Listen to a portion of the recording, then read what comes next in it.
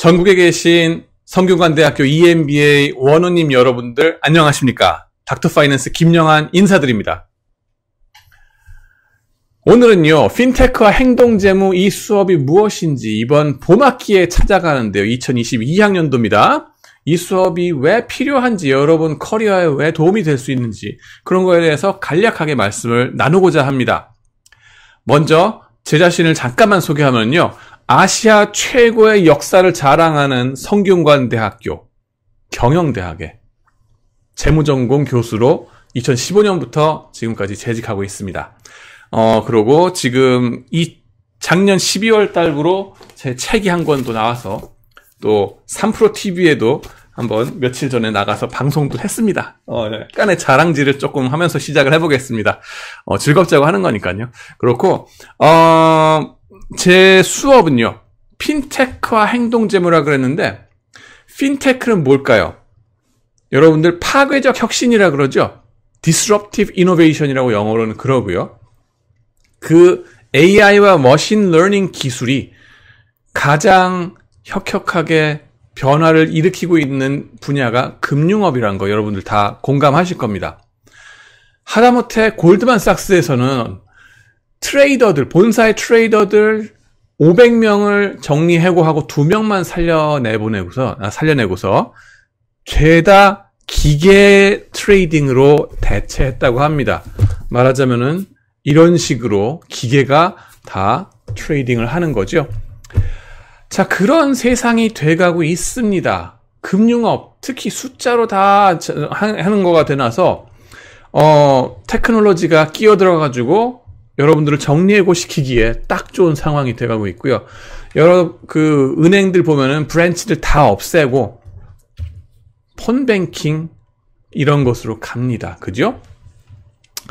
카카오뱅크, 그 다음에 토스, 뭐 이런 쪽으로 쫙 가는데, 그리고 증권 투자도 이제는 누가 객장에 가서 투자를 합니까? 이걸로 가서 투자를 하는 거죠. 그죠? 자, 이런 식으로, 어, 우리가 투자에 있어서도 엄청나게 많은 변화들을 직접 겪고 있고요. 그런 핀테크라는 것이 우리의 피부에 와닿고 있는 상황입니다. 도대체 이 disruptive innovation이 어디까지 가고 있는가 하는 현 주소를 같이 공부하는 것이 이 과목이 되겠습니다. 근데 왜 행동재무냐? 응? 많은 교수님들이 의아해 하십니다. 행동재무? 그거 사이콜러지 심리학 아니요? 아니, 심리학이 뭐 그렇게 어 파이낸스 그것도 핀테크 우리 이 기계로 하는 머신 뭐 이런 거가 그렇게 중요한 세상에 그죠? 로보트가 어 그렇게 건조할 것 같은 핀테크에 웬 따뜻한 행동 재무? 피가 흐르는 그죠? 사람의 심리? 뭐가 그렇게 중요한데? 왜 두 과목을 합쳤는데? 라고 대단히들 궁금해 하십니다. 근데 핀테크야말로 사람 심리가 중요합니다. 왜? 여러분들 대투자의 시대라 그러죠. 보시면은 거인의 포트폴리오 쪽에도 보시면은 나오죠. 그리고 이 베스트셀러 강왕국 씨의 정말 넘사벽 베스트셀러인데요. 할 수 있다 퀀트 투자. 이 강력하게 제가 여러분들한테 추천드리는 도서입니다. 근데 여기에서 보면은 뭐예요? 이제 투자를 해도 한 종목에 투자하는 게 아닙니다. 여러분들 투자의 기본이 뭡니까? 분산 투자입니다. 포트폴리오 관리하시라고. 자산 배분하셔야 되고, 그 다음에는 실수를 최소화하라 그럽니다. 여러분들, 흔히들 투자의 핵심이 뭐냐고 물어보면은 대뜸 하는 말이, 아, 가치 투자를 해가지고 저 회사의 가치가 얼마인지를 정확하게 추정해서 개별 종목에 몰빵 투자해가지고 찬스를 보는 거예요. 라고 잘못들 말씀하세요. 어? 가치 산정하는 거, 파이낸셜 매니지먼트 그 재무관리 기본으로 배운 거 아니었나요? 어, 그거는요, 반은 맞는 말이고 반은 틀린 얘기예요. 커리큘럼상 우리 전국의 대학들, 전 세계의 대학들이 잘못 그걸 하고 있어요. 뭐냐면은 개별 회사 갖고서 cash flow 분석하는 거를 너무 디테일하게 얘기하다 보니까 개별 종목이 제일 중요한 줄 알고 앉았어요. 근데 사실 제일 중요한 건 뭐다? 포트폴리오 관리, 분산 투자, 계란을 한 바구니에 담지 말아라. 그거를 정말 많이 놓칩니다. 그래서 분산 투자하는 방법 중에 퀀트 투자 이런 것들이 나오는 거고 포트폴리오 얘기가 나오는 겁니다. 할 수 있다 이런 얘기가 나오는 거예요. 그죠? 그래서 ETF나 무슨 인덱스 펀드 뭐 이런 거에 들어가라 하는 거고 그 다음에는 중요한 게 뭐냐? 여기에도 강한국 씨 채널에도 보시면 나오지만은 투자해서 돈을 어떻게 더 벌까가 중요한 게 아니라 어떻게 실수를 최소화할까 하는 겁니다. 어, minimize your mistake 그랬어요. 어떻게 하면 그걸 최소화할까? 그리고 여러분들이 핀테크 서비스 벤처를 만든다고 했을 때, 여러분들이 핀테크 그 사업을 벌린다고 했을 때도 이 투자자들이 어떻게 실수를 덜 하시도록 막아줄 건가 하는 게 중요해요. 왜? 그죠? 어, 왜라기보다는 일단 사람들은 내 돈이 주식시장에 박히는 순간부터 뭐가 된다? 원숭이가 됩니다. 이게 된다고요. 내가 아무리 훌륭한 노벨 경제학상을 받은 학자라고 하더라도 다 소용없어요. 다 똑같습니다, 사람은. 일단 내 돈이 박히고 나면 정신없어요. 어, 삼성전자에 내가 얼마를 박았는데 지금 막 얼만큼 떨어졌네. 아, 초조해지고. 어, 얼마 갔네. 어, 나 오만해지고. 이게 왔다 갔다 한단 말입니다. 그래서 이것이 버블과 패닉에 같이 연동되면서 어떤 때는 overconfident, 근자감에 쩔게 되고 어떤 때는 나락으로 떨어져요. 나락으로 떨어질 때도 조심해야 되고요. 근자감에 쩔 때도 조심해야 됩니다. 가장 중요한 거 근자감 조심해라. 그 다음에 처분 효과 조심해라. 여러분 물타기 함부로 하지 말라는 거예요. 이 비디오 보시면서 이 두 가지만 여러분 기억하셔도 이 수업 안 들어도 돼요. 그것만 확실하게 알 수 있으면. 근자감 조심해라. 처분 효과 조심해라. 근데 그거 하기가 정말 힘듭니다. 그걸 도와주자 하는 게 바로 핀테크고요. 그런 거 하려면은 근자감이란 게 뭔지, 그 다음에는 처분 효과가 뭔지 이 두 개는 알아야 될 거 아니에요. 이 두 가지만 건져도 이 학기에서 여러분들 정말 평생에 남는 수업이 된다. 라고 보시면 됩니다. 그거에 대한 수업이 되겠습니다. 근자감, 이거 사이컬러지예요. 처분 효과, 이것도 심리학입니다. 그거 어디서 배우냐? 기존의 경제학에서 못 배웁니다. 기존의 경제학에서는 뭐라 그래요? 가정하고 들어가기를 모든 투자자들은 합리적으로 의사 결정한다고 치자. 그러고 나면은 on average, in the long run, 장기적으로 평균적으로 시장은 효율적이고 모두가 분산 투자를 합리적으로 하고 있고 그 다음에 시장의 모든 사람들은 그게 평균적으로 다 똑똑하고 그러니까 그걸로서 수학적으로 아름답게 모든 것이 설명이 되더라 섹시하지 않니 얘들아? 딱 그래서 노벨상 서로 주고받고 그러면서 그들만의 리그를 지금까지 형성해 왔어요. 그걸 우리는 신고전파 재무라고 얘기하고요. 제가 나온 박사를 받은 미네소타 대학이 거기에 하드코어 짱입니다. 시카고 미네소타 카네기 멜론 이 세 대학이 바로 신 고전파 경제학의 주류요, 원류요, 갓파더요, 최고봉입니다.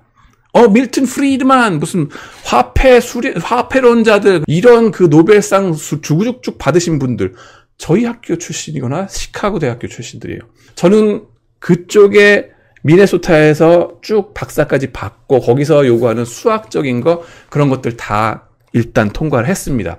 그러고 나서 나중에 박사 받고 싱가폴 가가지고 NTU라고 싱가폴 아시아의 최고 공대가 어디냐? NTU 난양 공대라는 곳입니다. 거기서 이제 제 공부를 하면서 교수로서 어 5년 반 동안 일을 하고 연구를 했는데 어 기존의 미네소타에서 제가 박사 받을 때 공부했던 그 신고전파 경제학 너무 다 팠어. 더 이상 할 게 없어요.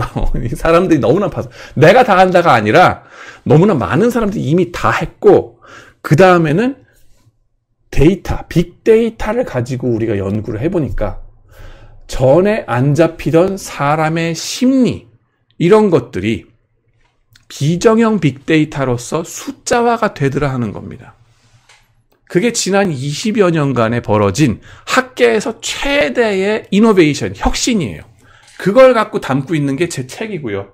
이 책에 보시면은 최근 들어서 비정형 데이터, 관상이라 그랬잖아요. 여기 보시면은 CEO 얼굴, 어, 이게 무슨 뭐 미신 무슨 뭐 이런 주술을 보자 이게 아니라 구타자는 게 아니에요. 구타시면 안 됩니다. 참고로 그것도 제 수업에 나옵니다. 이게 뭐냐 하면은 얼굴 사진 그리고 또 손, 그 다음에는 음성 피치 아니면 얼굴 표정 뭐 제스처 이런 것들이 다 그 사람의 남성 호르몬과 같이 가더라 하는 거고 남성 호르몬이라는 거는요 남자든 여자든 다 나오는데 이것이 위험 선택을 좌우하는 거거든요. 그렇기 때문에 그 남성 호르몬의 흔적이 비정형 빅데이터로 잡히더라 하는 얘기가 어 지난 몇십 년 동안 연구가 된 거고 제가 그걸 pioneering 했다고 저는 자부합니다. 그래서 그걸 담은 책이고요. 그러면서 그 숫자화한 남성 호르몬의 측도 이런 것들이 그 개인의 투자 행태 혹은 CEO면은 그분의 인수합병이나 어, 부채 조달 형태 이런 거에 영향을 주더라 하는 거가 속속들이 밝혀지고 있어요. 그래서 그런 심리적인 요소들, 생체적인 빅데이터 이런 것들이 어떻게 이런 위험 선호하고 연관이 돼 있는가 하는 거를 같이 공부하는 아주 섹시한 학문이 되겠습니다. 그래서 여러분들이 이 수업을 통해서는요. 첫 번째 첫 번째 어 저 뭡니까? 투자론적인 측면에서 일단 순서부터 쭉 그 맨 뒤로 먼저 가겠습니다. 중간고사 전까지는요.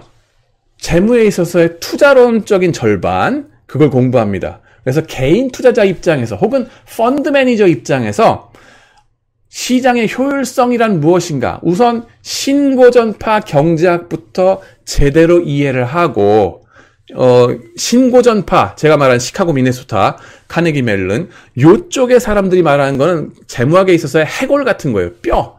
뼈대를 먼저 세워놓으신데 의미가 있고 그래서 그 뼈가 멋있다고 해가지고 노벨상 준 거거든. 어, 해골 보고 멋있다고 하는 건 난 처음인데 평생에. 근데 그 해골을 잘 만든 것은 공헌이죠. 그래서 노벨상 드린 거예요. 그래서 그거에 대해서 먼저 얘기를 조금 하고 그 다음에 엄밀하게 따져봤을 때 그게 허구구나. 그리고 뼈에 지나지 않는구나. 우리의 실상은 살이 붙어 있고 근육이 붙어 있구나. 피가 통하고 뜨겁구나.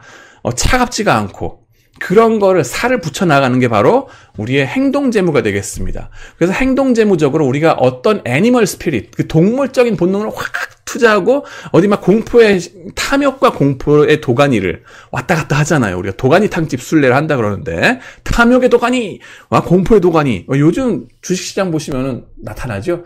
하루가 다르게 지수가 아주 널뛰기를 합니다. 며칠 전에 그러니까 페이스북 주가가 25% 빠진 거 보셨죠? 그리고 갑자기 아마존 주가가 그 다음 날로 풍 같이 떨어지더니 장 끝나고 다시 팍 올라갔었어요. 또. 미쳤어 완전히. 이런 식의 상황이 벌어지는 광적인 광란의 도가니에서 우리가 어떻게 투자자로서 실수를 안 해, 안할 수 있나 내지는 최소화할 방법이 뭔가 그거에 대해서 같이 고민하는 게 첫 반학기가 되겠습니다. 그래가지고 이런 얘기들 쭉 배우면서 quant 투자의 기본 그 아이디어가 뭔지 그 직관 기, quant 투자의 직관에 대해서 배우고요. 그 다음에는 미디어 뉴스 미디어의 이런 CEO들이 미디어를 타가지고 텔레비전 나와서 어 우리 회사요 잘 나가고 있어요 아 라고 이렇게 얘기할 때에 그 회사 주가가 어떻게 되는가 그리고 주가가 overreaction 한번 촥 하거든요. 그때 어떻게 하면 헤지펀드로서 돈, 돈을 벌 수 있나. 그 다음에는 그때 들어서는 게 공매도예요. 실질적으로 여러분들 지난 20년 동안 가장 쉽게 돈 버는 헤지펀드들 어떻게 돈 벌었을까? 저는 제가 알기로는 제가 한 논문 중에 하나인데 어 CEO가 미디어 나와서 자기 회사 좋다고 선전할 때 공매도 치면은 돈 번다는 거예요. 쭉 떨어질 거거든. 왜냐하면은 그 역발상의 투자기 때문에. 이 사람이 좋다고 막 해봤자 이미 다 시장에 나와 있는 거기 때문에 그런 걸 더 자세하게 배우는 것이 이쪽이 되겠습니다. 그러고 보면은 공매도가 어떤 건지에 대해서 그리고 공매도가 어떤 순기능과 역기능이 있는지 밸런스 있게 배워야 되겠죠. 여기 이관희 교수님의 이것이 공매도다 하는 책 제가 또 말씀드리는데 요것도 좋은 참고서로 여러분들한테 제안 드립니다. 제 책은 교과서입니다. 작년까지는 교과서가 없었어요. 근데 이번 학기부터는 드디어 교과서가 나왔습니다. 그래서 이걸 지금부터 좀 보시면서 어, 아 이런 얘기구나라는 걸 좀 감을 잡으시면은 재밌겠습니다. 물론 여기에서는 보다 더 중간고사 이후 부분이 더 강조가 됩니다. 관상에 대한 거는 특히 그거예요.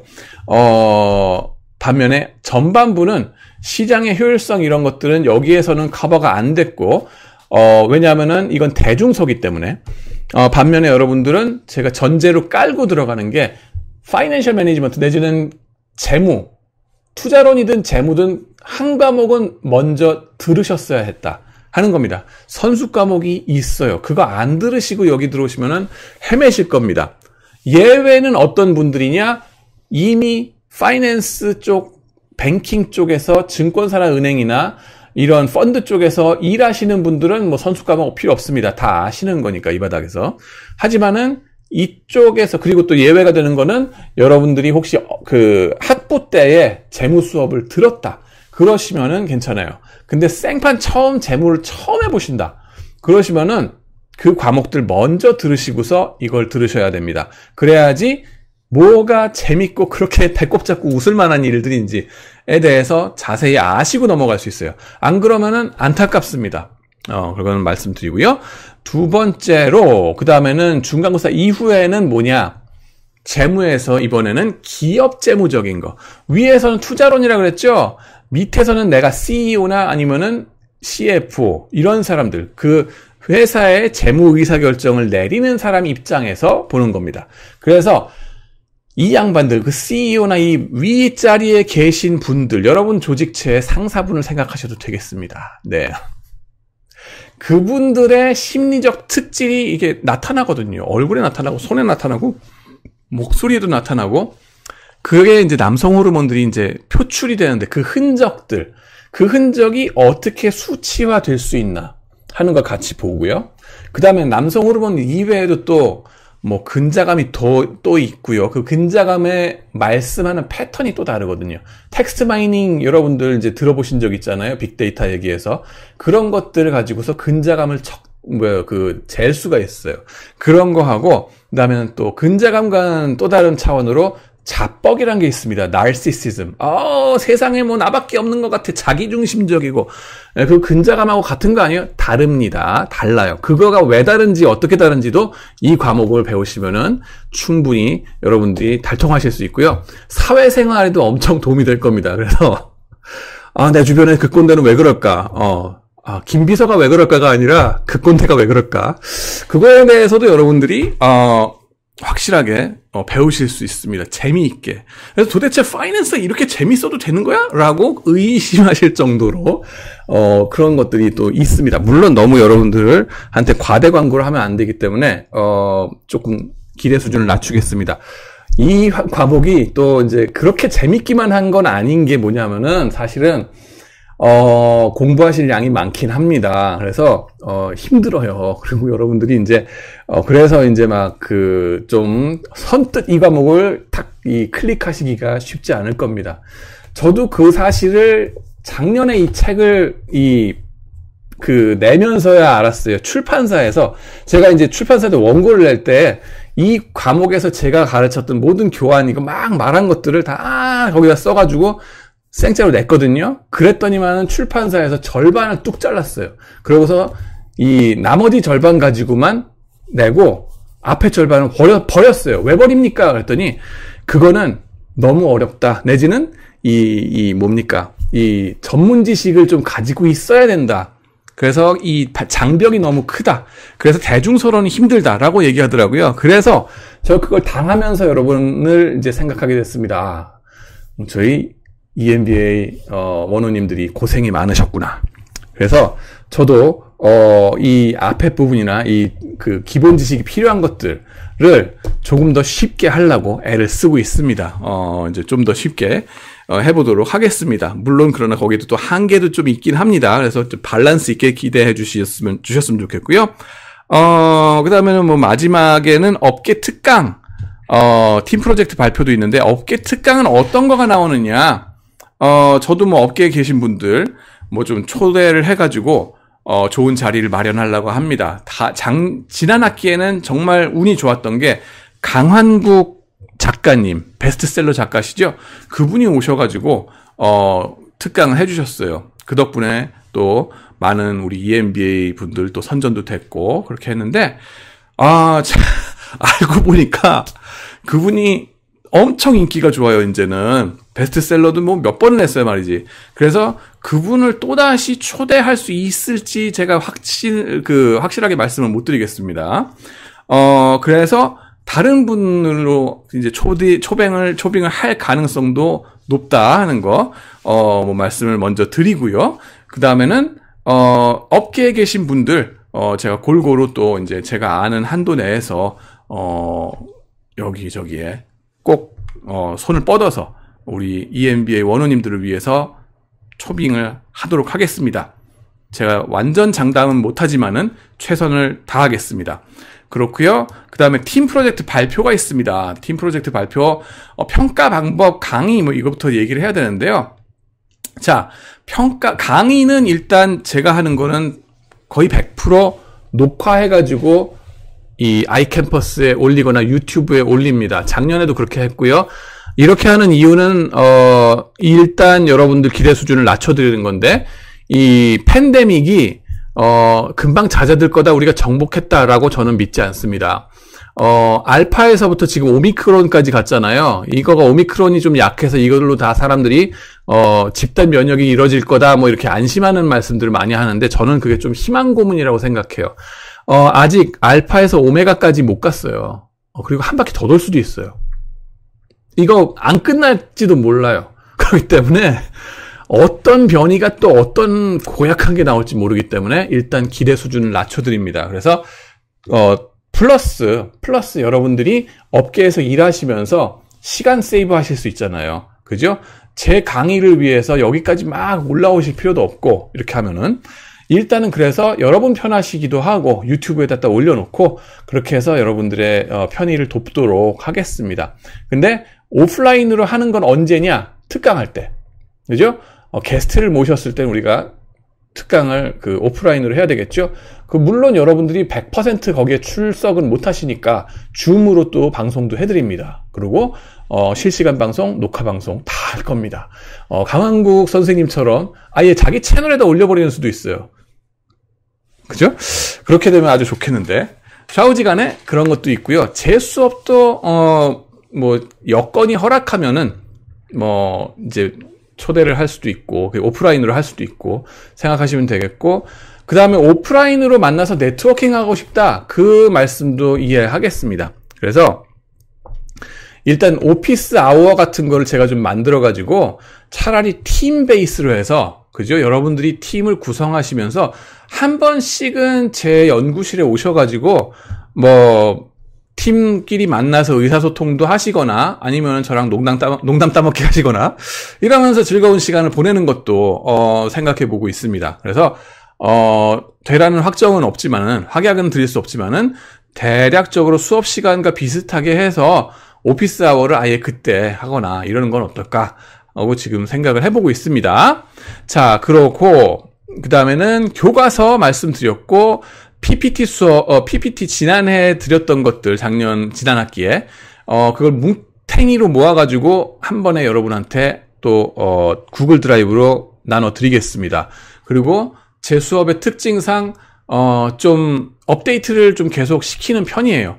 지금 제가 3프로 TV에 나가면서 방송에 나갔을 때에 거기서 발표한 거 하고 그다음에 그 전에도 또 다행히도 감사하게도 이 증시 각도기 그죠? 증시 각도기에서 발표할 때 하고 업데이트된 내용이 좀 있었어요. 서로 다른 게 있어요. coverage가. 예. 네, 그런 것처럼 그 current issue 내지는 시사적인 문제 그때 그때 따라서 제가 좀 업데이트를 약간씩이라도 계속 하려고 애를 쓰고 있습니다. 아, 또 그러고 중간고사 기말고사도 또 그런 식으로 해서 계속 시사적인 문제들을 냅니다. 어, 증시 각도기 같은 경우도요. 그 작년 재작년에 제가 중간고사 문제에 어 중간 기말고사는 그나저나 간에 여러분들 중간 기사 기말고사는 어 24시간 내지는 12시간 테이크홈 시험으로 해가지고 에세이 시험을 드립니다. 근데 거기에 뭘 하냐 하면은 어차피 에세이 시험이고 여러분 인터넷 접속이 되시니까 유튜브로 어떤 채널에 지금 증권방송 채널에 어떠어떠한 부분 얘기가 나온 게 있다. 그 부분에 가서 이 양반이 말한 요 얘기가 우리가 배운 무슨 개념하고 어떻게 상통하는지, 어떻게 반대되는지, 그거에 대해서 논하세요. 라고 얘기가 나갈 수 있습니다. 그렇기 때문에 여러분들이 시사적인 문제를 계속 업데이트 시켜야 됩니다. 공부하셔야 돼요. 그게 제 과목의 힘든 점이기도 하고 재밌는 점이기도 합니다. 어, 예를 들면은 뭐 3프로 TV, 그죠? 권위가 일단 있잖아요. 그죠? 그쪽에 구독자 수가 이게 거의 200만이 됩니다. 그죠? 가서 들으시고요. 저 김프로님하고 이제 방송한 것도 또 스웨그 또 자랑을 한번 하는데, 어, 그 방송 꼭 챙겨 들으시기 바라고요. 그죠? 그 다음에는 슈카월드. 아, 이건 완전 찐천재. 예. 그리고 증시각도기. 와, 진짜 찐천재. 이분들 그 방송을 꼭 들으셔서 어떤 얘기가 오가는지를 업데이트를 좀 하시기 바랍니다. 그래서 이 수업 하나 들으시면서 다각도에서 여러분이 아 finance에 대해서 어 또 혹은 핀테크 행동재무 이쪽에 대해서 사, 투자자 심리, CEO의 심리 이런 거에 대해서 입체적으로 공부가 되는 기회가 되실 겁니다. 그러고 혹시나 책을 더 어 요구한다 그러시면은 뭐 차트의 유혹 이런 책도 있더라고요. 그 다음에는 핀테크 책 너무너무 많죠. 제가 책을 낼 때 사실 핀테크로 이름을 지을까 했었는데 어, 출판사에서 아 너무 많다 핀테크. 그래서 다른 제목 지으라 그래서 저걸로 한 거예요. 음. 어, 그러고 뭐 네이버와 카카오 뭐 이런 책도 있고요. 그 다음에는 카카오 네이버는 어떻게 은행이 됐나 이런 책도 있습니다. 핀테크 있죠. 너무너무 많습니다. 그 다음에 핀테크 4.0 뭐 이런 책 이제 5.0이 넘어갈 거예요. 뭐 이런 것들을 한번 보시고 여기 있는 책들 그다음에 저기 있는 책들 이런 것들 참고하셔서 보시면 되고요. 네, 저보러 뭐 교과서를 이거보다 더 심도 있게 어 뭐 전문 지식 들어간 그죠? 앞에서 중간고사 말고 처음부터 끝까지 우리 과목을 커버하는 교과서를 낼 생각 없습니까? 있습니다. 그래서 어 내친 김에 집필을 하려 그럽니다. 어, 그래서 지금부터 막 시작을 하는 중인데 모르겠어요. 어, 잘 되기를 기도해 주시고요. 아직 멀었습니다. 내년쯤이면 되지 않겠나라고 지금 생각합니다. 어, 참, 책 내는 것도 진짜, 어, 힘들더라고요. 어, 정말 전쟁입니다, 전쟁. 자, 그 다음에는 기말 팀 프로젝트 20% 들어갑니다. 중간 기말 참여 출석 이렇게 됐는데, 어, 카카오 페이 지난 학기엔 카카오 뱅크였습니다. 착각하지 마시고 헷갈리지 마시고 두 회사 달라요. 예. 어, 카카오 페이의 적정 주가 추정하기. 어, 적정 주가 추정하는 거 어떻게 해요? 아, 제가 선수 과목 말씀드렸죠. financial management 그 재무 기본에서 배우셨을 거예요. 그거 활용하시면 되고요. 그 다음에는 어, 제가 또 유튜브로 어, 적정 주가 어떻게 상대 가치 평가로 PER, PBR 이런 걸로 해서 계산하는가 그런 거에 대한 거 제가 또 설명하는 비디오를 해놨으니까 한번 탐독하시고 구독하시고 구독과 좋아요는 사랑입니다, 여러분. 네. 꼭 가서 한번 하시고요. 그다음에는 발표 형식 10분짜리 비디오를 녹화해서 여러분들도 유튜브에 업로드하세요.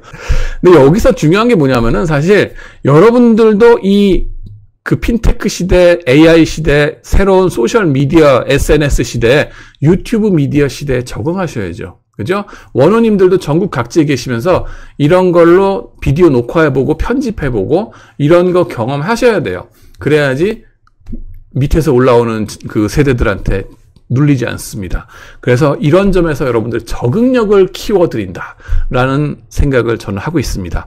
그리고 작년에도 그렇게 해가지고 다행히도 많은 원우님들이 좋아하셨습니다. 어, 강의 평가가 한 98, 어, 100점 만점에 에, 이렇게 해주셔서 정말 정말 감사드리고요. 뭐 금년에도 그렇게 나오라는 보장은 없으니까 여러분들 기재를 낮춰드립니다. 고생하실 겁니다. 그러나 여러분들이 유튜브 세대에 적응하시는 길이다라고 생각하시면 되겠습니다. 어, 제출 워드 파일로 10페이지 이내 뭐 내지는 파워포인트 뭐 해주시면 되고요.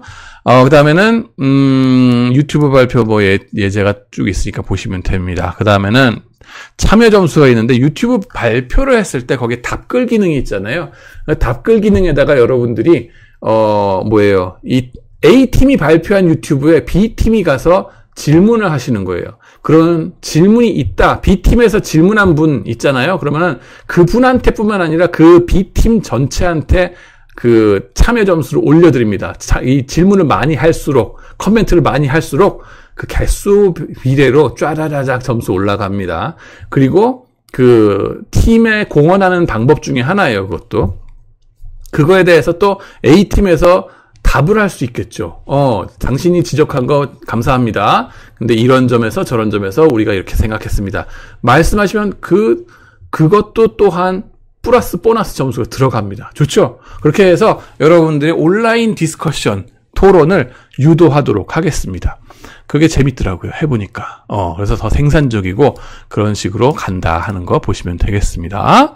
그 다음에는 또 이따금씩 제가, 어, 그, 말, 그 말씀을 드릴 때, 뭐 수업 시간 중에 뭐 모호했던 부분이 있다. 약간 부족했던 부분이 있다.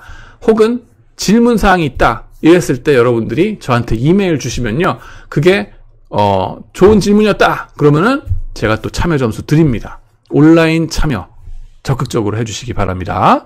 어, 이메일로 해주시고요. 음, 그렇게 된다 하는 거 말씀드리고, 어, 이번 그 과목 소개를 끝을 내겠습니다. 어, 시청해 주셔서 감사합니다.